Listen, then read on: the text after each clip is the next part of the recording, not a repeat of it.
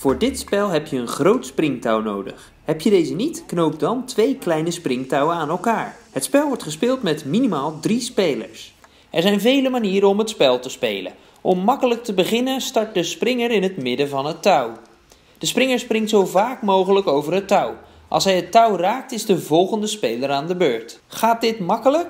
Dan kun je ervoor kiezen om tijdens het springen bewegingen te maken die in het liedje worden gezongen. Beertje, handjes in je zij.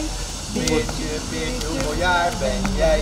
1, 2, 3, 4. Kijk op de spelkaart die bij deze video hoort voor voorbeelden van liedjes. Een andere manier om het moeilijker te maken is om de springer te laten inspringen als het touw al aan het draaien is.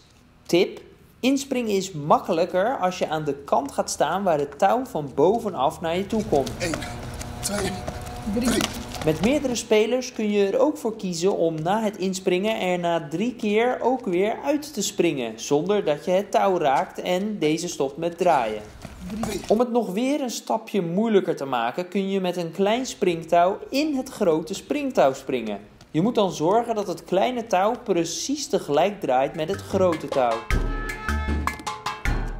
En om het nog moeilijker te maken kun je de double dutch springen.